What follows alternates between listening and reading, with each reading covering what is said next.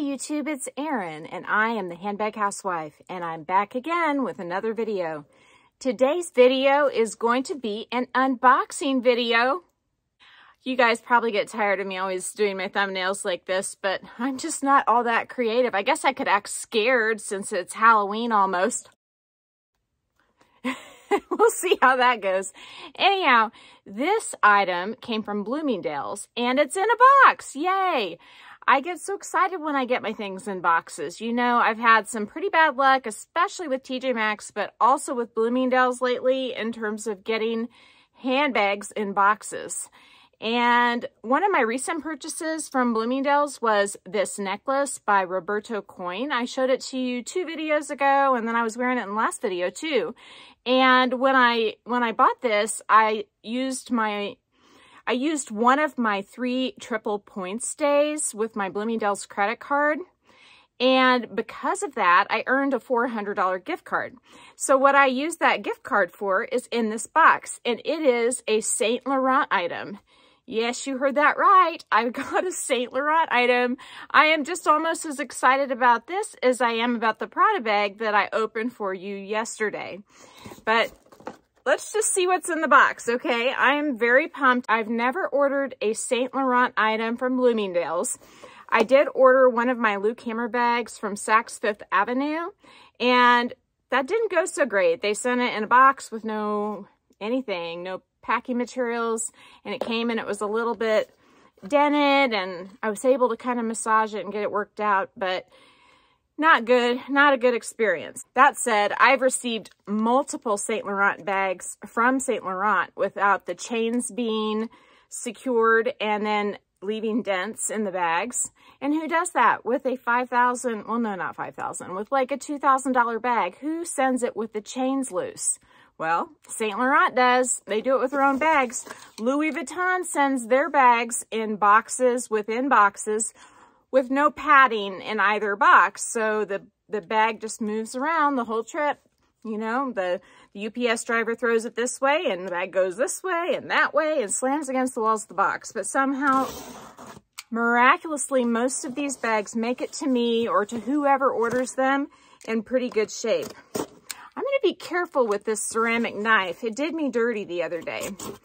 I was working on my box that my Prada was in, which was extremely well wrapped.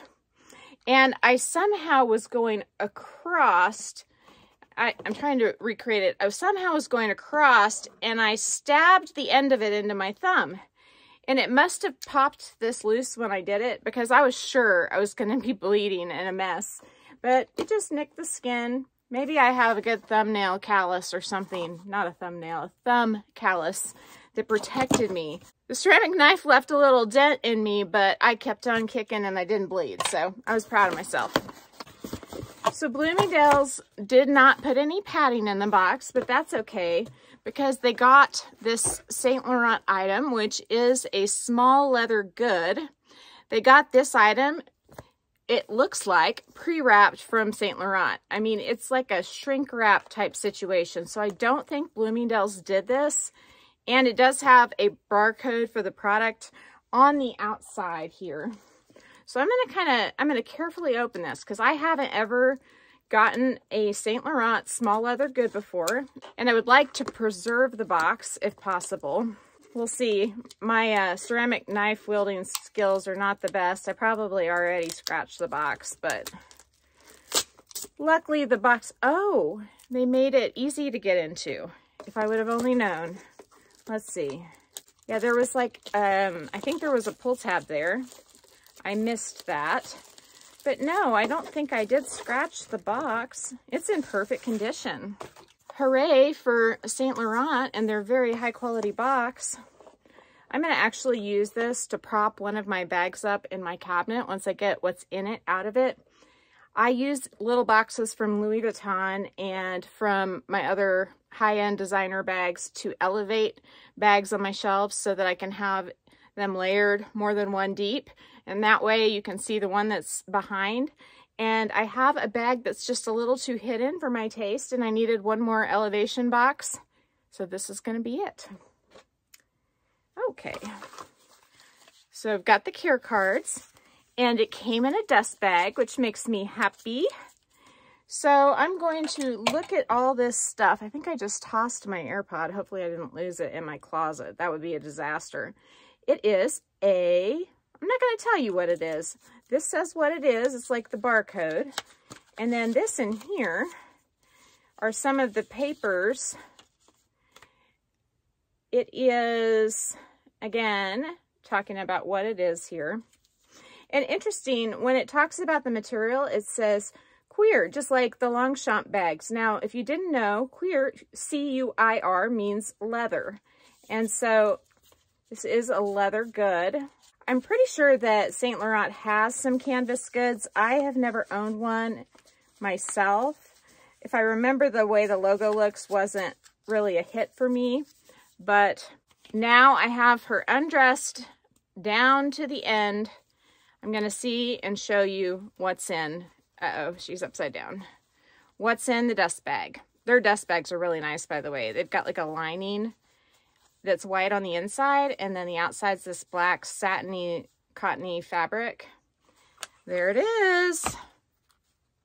I'm going to look at it real quick, look it over. I mean, I'm pretty sure it's going to be just perfectly fine. I mean, this came directly from St. Laurent, all packaged up through Bloomingdale's. Believe it or not, it does not smell like leather. That surprises me. Usually, St. Laurent stuff has a very strong smell of leather. So this color, I believe, is called Natural Dark.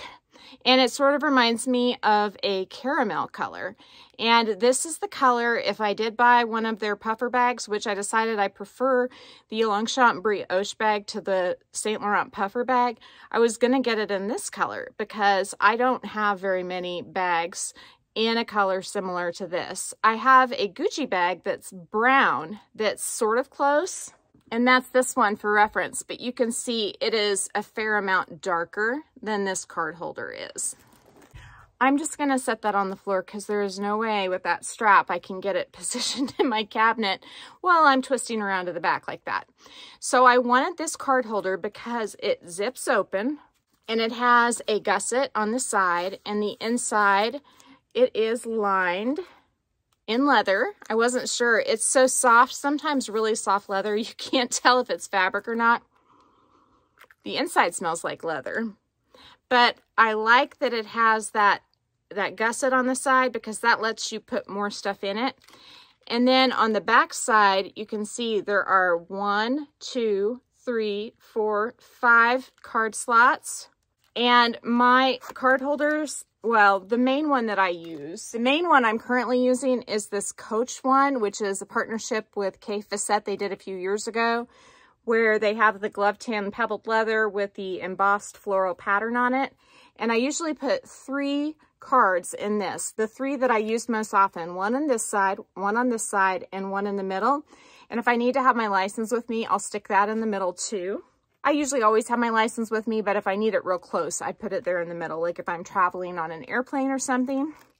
But I thought this would be a good potential replacement or an alternative to the Coach one. Not that I'm going to get rid of the Coach one because I love Kaffe Fassett artwork and I love the floral patterns that he did with Coach. So I wanted this because I wanted one that had card holder spots and a zipper. So my two most used small leather goods besides that Coach item are these two items. The Louis Vuitton Key Cles in monogram and in Damier Ebene. And I wanted the St. Laurent in this color for that reason. Can you see how well those match? I mean, I just wanted something that would coordinate and complement with what I already had since I plan on using the three of these items together, or I may be able to eliminate one of these and then switch out which one I use, thus preserving the life of both of them for a longer period of time. And then I could just use one of them with this new St. Laurent card holder. So I am so pumped up about this item.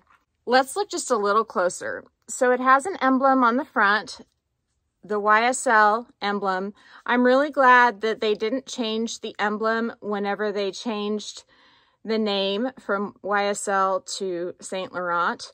And they kept the website the same too, ysl.com.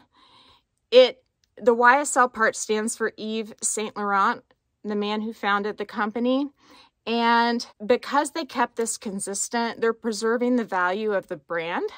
Whenever you switch things up a lot, that's not good for the value of the older products that you made. It devalues the vintage pieces, and that stinks for us who've bought those items.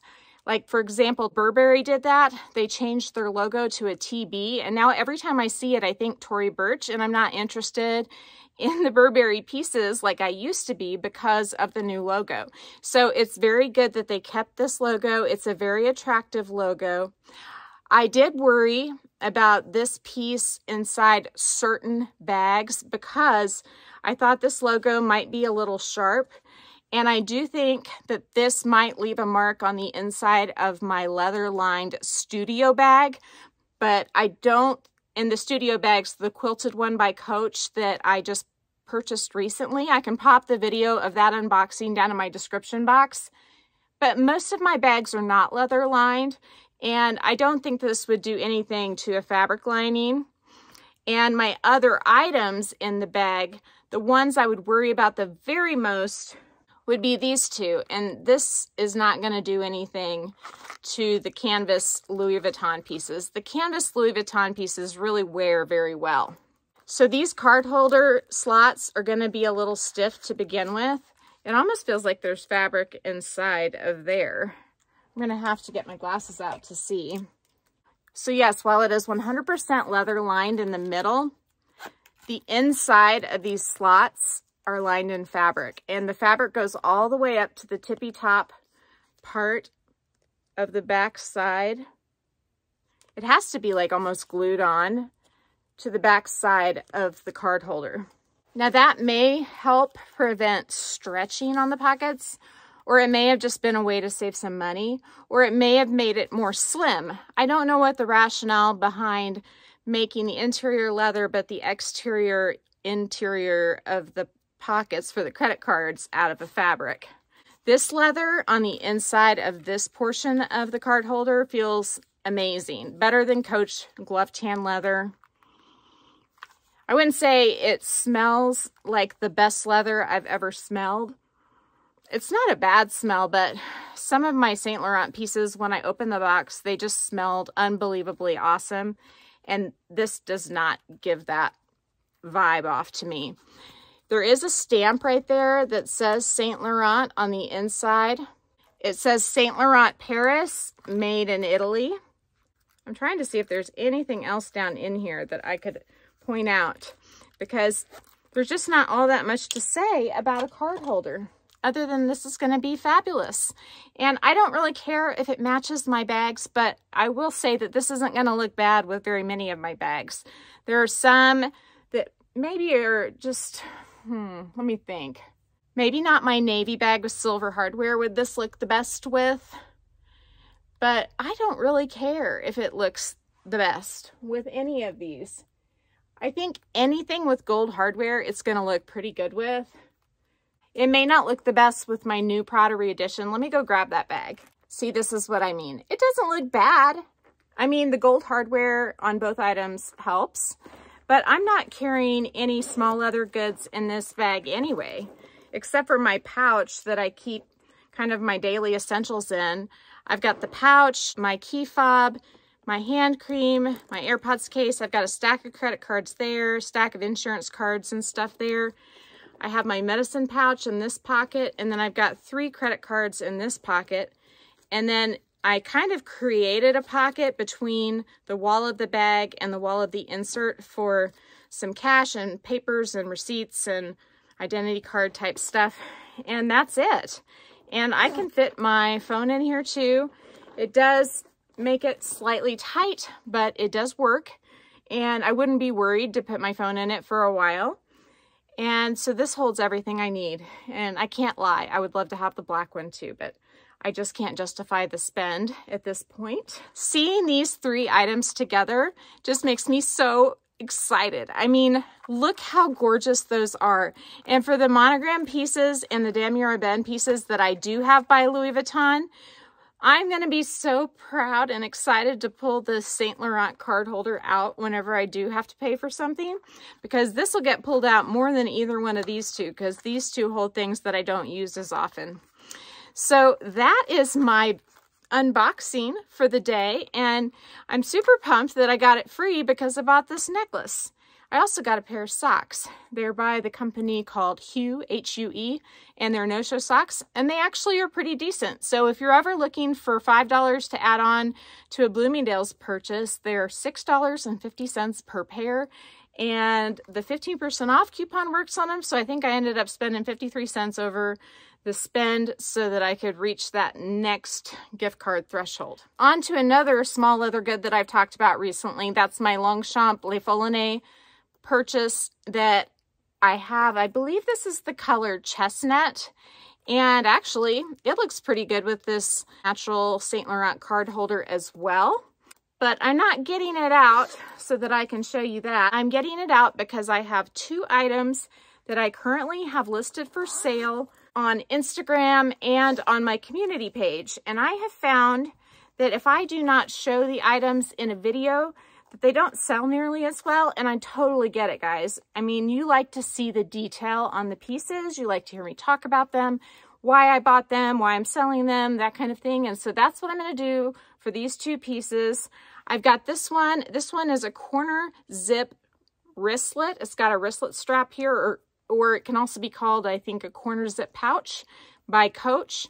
And these are both outlet pieces, but they are part of the Basquiat release. And these pieces are of a higher quality level than most any of the Coach outlet pieces that I've seen. The, the outlet tends to put out higher quality pieces when they do them in collaboration with someone who is famous or who was famous.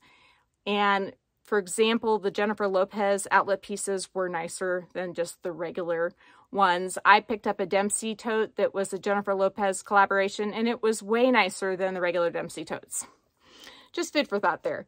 But this has not only like a puffy type paint, but it also has embroidery on it. And this is a floral pattern that Basquiat drew. It's not the whole picture, it's just a portion of the picture, but it's done on a very soft pebbled leather. And then the back side is empty. I have used this maybe once or twice, maybe. Um, I think there might have been like one speck of lint inside. It's got three card slots right here, or maybe it's two. Yeah, it's got two card slots right there, and then the Creed patch is right there. And you can see the outline of the Creed patch back here. That's not due to wear, that's just due to how they sewed it. And anyway, it's a really pretty piece. I'm just not using it. And I'm trying right now, I don't know if you've noticed, to get rid of everything that I don't feel the need or desire to use. And the other item is also from the Basquiat collection. Now, Basquiat drew a dinosaur. This wasn't something that Coach asked him to do because the collaboration happened post-mortem. And you can see he's got some detail work on him too. I think there's some embroidery, if I remember correctly, on his crown, and he's puffed up too. And anyway, the front of the piece has two card slots. The back has an ID case right here, and then it has a very smooth zipper. It's got the chain that dangles from it, and that's just like my Louis Vuitton pieces. And then on the interior, there are no pockets, but there is the Creed patch right there.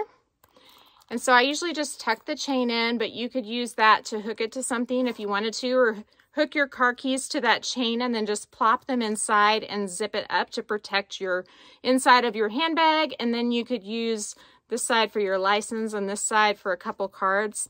It is really soft, so I think you could fit probably a couple of cards in each slot, but I've never done that, so it is not stretched out. And I like that it has the gusset so that it will spread out for you a bit so that you could fit a good chunk of cards in there if that's how you choose to use it.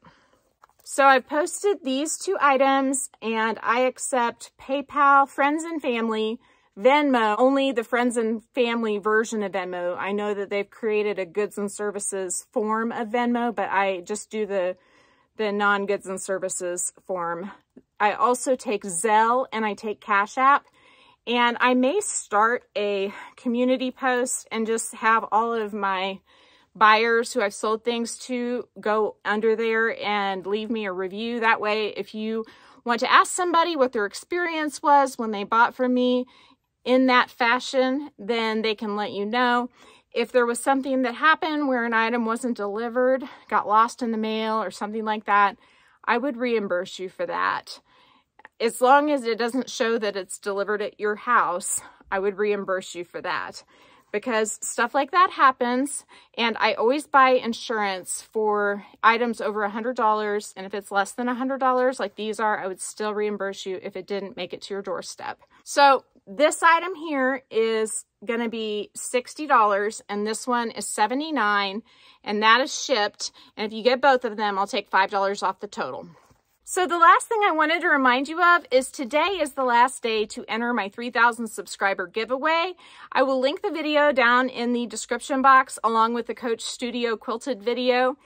And so you have until midnight central time to enter if that's what you want to do. And I will announce the winner in the next week sometime. And my son's going to help me pick those three winners. So if you like this video, please give me a big thumbs up. If you haven't subscribed to my channel yet, what are you waiting for? Do it and ring my notification bell so that you are notified of future exciting content such as this.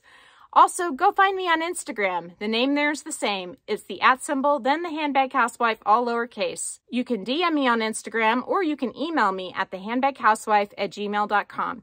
If I don't hear from you, I will see you again real soon. Take care and have a fabulous day. Bye.